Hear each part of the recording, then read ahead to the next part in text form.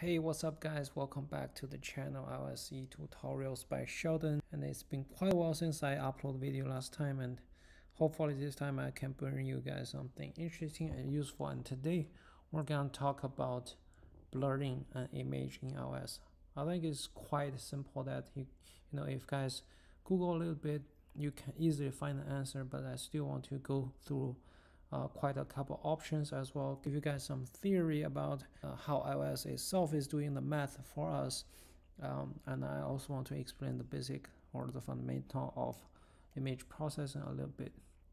So yeah, like I said, if I, if you guys do a little bit research on Google, you can easily find multiple solutions. But when I, when I was researching this kind of problems, I always prefer to go through Apple's document. I'm gonna use this article to explain uh, the foundation of the image processing.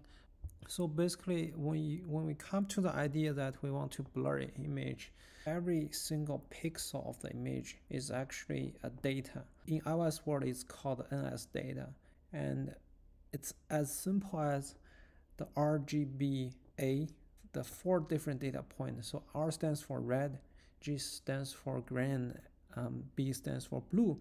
And then if, if you're having a PNG file, you're actually having a alpha channel, which is like varying from zero to one. Um, but if you're using a JPEG or the regular image, uh, you you can end up with having no um, alpha values. So in this case, in this article, we're uh, simply thinking that each pixel, right? If if you have an image, right, you will have some different values for the pixels. You think about this for let, let's see this simple image is only containing like red element. So the red element probably like changing from 0 to uh, 255. Um, and let's just assume it's as simple as that. So basically when it comes to blur an image, it's, it's all about calculation. You're passing in a, a, a form of data and it can be um, it's, it's very easy to think of you have a two-dimensional image right? You have rows and then you have columns and then it's naturally that each 0 0 0 1 1 0 1 2 here is a single value of that pixel. So blurring an image is just right as simple as you have a different matrix and then you multiply these two values and eventually get a final value here. And then this is new pixel value uh, like a combination of every single value of the each pixel will be the new presentation. And then with this matrix multiplied by this matrix you will be having a final matrix uh, a matrix of like pixel values. And then this image will be the blurred ones which is like quite simple. So this article gave us um, yeah, I, I do mention 1D and 2D. The reason uh, I, I'm saying like it's very easy to think of 2D images because it in our mind we're having like rows and column concept, but to the image it's really much easier to think it's 1D. It's just like 1 times 6 for the first row and then 7 is actually the second row so that the whole image can have a metadata that in, in indicates that the width and height is, is how many for the image and the rest you just use a single indexing system. So when it comes to that it's called like 1d uh, one dimensional way to calculation and then when we tackle the math we can think of it 2d so yeah so basically um, when you have a so if I if we check the equation here, the left side of the equation is actually the mask, which is matching um, the green square here in in this picture, and then the right side of of the matrix uh, of, of the equation is a matrix of a real value. So that means we have, for example, we have an image of just nine pixels, right? And then we apply this mask on the left side, this is we're gonna get as the final image for the central, um, like the, the pixel value for the central pixel. So with that being said, the left side, is, we call that, um, this article said, we call we call this identity kernel. That means this identity kernel, when you apply to every pixel, uh, it's ex exactly spitting out the same pixel result because you know it's zero. So the calculation here is like 1 multiplied 0.5 is 0.5 and then all the rest like 0, 0 0.0 is 0 uh, 0 0.05 is 0 0 0.0 is 0 so all the rest you know around it are 0 and so this final value is 0.5 which is 0.5 times 1 and then plus you know all the rest are 0 so basically that's how you get this value. Um, yeah and then this article also gave you next you know a little bit different kernel uh, and it indeed mentioned that oh if we're seeing a mask um, that is like one uh, the sum of the mask if it's equal to one that's pretty much means we have a normalized um, mask. So that if we do the same calculation the center is 0.5 times you know this guy and then the rest. You, you multiply every element you and then you you put them together you're gonna get like 0.2775 something. But basically this is the same calculation that we have here as well as in this picture. Basically this like green picture is like 0 times 1 is 0 and then 4 all the rest are 0 except for this bottom right corner is negative 4 times 2 which is negative 8 that means you know the final value is negative 8 Okay, so with all that being said, um, this article also tells us very clearly so that if you know this the left side the sum of all the values are uh, if it's greater than one that means the result image is brighter than the source meaning you, if, if you have regular image uh, you can blend in more white into it um, so that you know the the blurred image can be not only blurred but also brighter blurred. And then if the sum is less than 1, the result is darker. And if it's exactly 1, we assume the brightness of the blur shouldn't change much. Yeah, so with I think these are very clear that you know we have some sort of like square uh, way of filtering image so that you know each value is is is uh, mapping with each value there um, but as you as we scroll down a little bit faster um, then we can pr probably tell um, square image kind of brings in more a distorted feeling so that you know the the better way of uh, applying this uh, uh, filter is more like a tint filter which is having a you know circle-ish mask and which is exactly uh, if we scroll up a little bit which is exactly this guy is doing. So you see the the value of this center uh, center filter is is really big. And as it you know progress to to its edges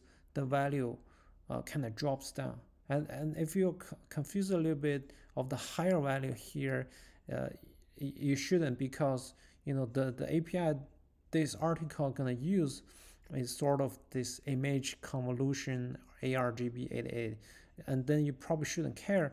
And you also see uh, this API also actually passing in the whole you know this divisor is basically needed to sum all the values together and then pass in so that basically when we have this kernel 2D thing eventually it's going to be normalized. So each value will be divided by the total value, which is the divisor internally uh, of this function. So I would say this kernel, uh, this 2D kernel is pretty much, you know, something like this while it's having a circle mask so that, you know, the result is, is very smooth. Um, and, you know, with all this being said, it's quite interesting that if we go back to the uh, the Gaussian blur article, it's so obvious that um, the Gaussian blur is basically same thing that we have a mathematical equation here, right? It's sort of complicated, but we, as we, you know, scroll down a little bit, scroll down a little, little bit, it's all about coming to this simple Gaussian matrix so that it's having exactly the same idea that, you know, the center value is a little bit higher and then as it progresses to the to its edges up down left and right it's exactly dropping values so that after probably four numbers it's it's neglectable so that you only kept this four matrix and at the end of the day it's just a pixel uh, or value um, calculation right? They just apply this value with original RGB and then it's pretty much done. Yeah so basically that's the foundation of the blurred image but in iOS it's not even like a little bit as complicated as this. It's really simple. So yeah okay so let's create the project and uh, let's just call it test blur iOS. Uh, let's actually skip uh, Swift UI so that it's more like traditional way of doing the demo and then oh, let's just create the project no author information was applied. Yeah whatever. Some version control new tool. Uh, let's also simply drag my little uh, image prepared to the to my my nice little face into this uh, image and let's create an image set. And then let's just simply drag it here let's just call it my face and camel case. Okay so once we have this set we get back to the view controller and then um, we can you know easily drag and drop a.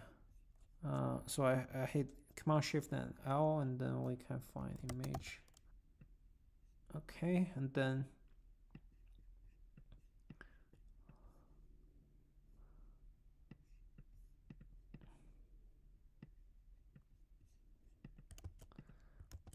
then let's you know can do two of them.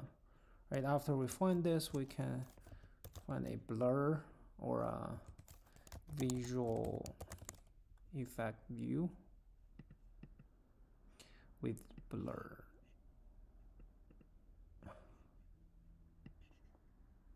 That's pretty handy. And then we're gonna copy and paste another one So if we drag a little bit down this side, uh, we can actually click this, right? We can choose regular and then you can also choose uh, dark. Or uh, you know let's just do this. And then let's make the image view to be showing our uh, my face right? And then this is my face. Okay, so let's run the project. Um, so that this basically this preview is very like clear enough to show everything, but I still want to show the result in the simulator to, to be, you know, exact. The I would say the only downside of this approach is that you don't have much control to this uh, other than you know these four options because if you choose like extra light it's it's almost cannot see anything. So that's the first way that I want to, to show you guys which is you know iOS itself is taking good care of us.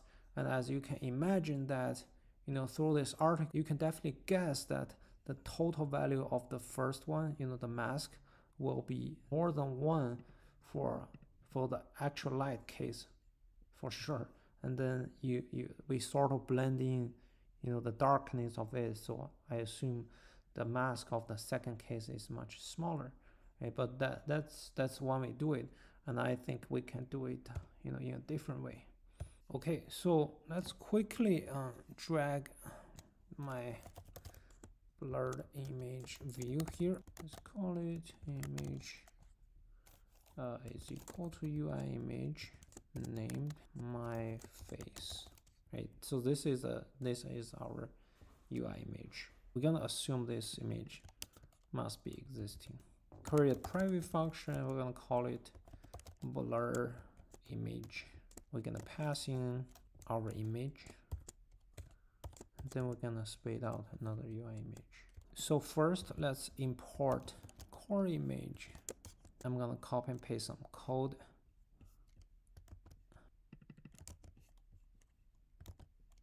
Okay, so I just copy and paste some code and it's so first as you realize that I create a context. So, so basically this context is we have to sort of hold the reference to let it process anything here. So I kind of make a local variable under this class. During the process, we, we're gonna use the Gaussian blur, which is exactly what I mentioned here is, you know, kind of having this sort of circle-ish um, filter effect. We also use another filter called crop filter. It's on Stack Overflow, and I will attach the original link to you know to the video description. And shout out to whoever made this code available for us to use. And after all this, we call this um, prod image to be the process image, and it's being you know returned to the caller. Yeah, there's only one thing that this process is definitely taking time because it's using a filter and it's running on the GPU. So, so let's first grab a background queue and then once everything is ready, we're gonna dispatch it to the main thread. Right, so we just call dispatch queue.global.async and then, so yeah, so now we have the result of the, you know, the second way of generating the blur image. Uh, I think it's gonna be easier that we, if we pull back you know on the first way that I put a blurred image view here. Um, yeah so let's do some side-by-side -side comparison. Yeah so basically this is the result that we have for both of the case the first one is that definitely that we applied iOS native uh, blurred one but the, you know it's kind of a little bit overly blurred. So, but for the second one, we do have some freedom to control how it blurred. See, if we change the value for the radius, right, and then we rerun the project, it's much less blurred and it's pretty under control as well.